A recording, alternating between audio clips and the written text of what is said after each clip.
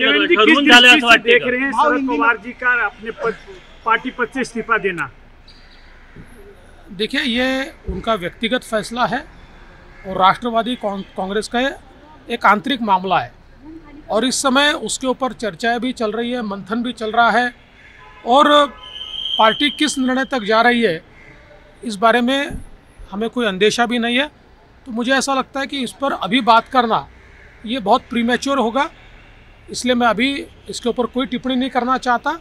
हम परिस्थिति पर नज़र रख है उचित समय पर इस पर बोलेंगे। क्या संशय की दृष्टि से देख रहे ऐसा कहा जाता है पवार साहब की बातें दो दिन बाद समझ में आती है तो महाराष्ट्र की राजनीति में क्या इसको संशय की दृष्टि से देखा जा सकता है? इसीलिए तो मुझे ऐसा लगता है कि हम लोगों ने राह देखनी चाहिए कि ये क्या हो रहा है क्यों हो रहा है ऐसा क्या होने वाला है।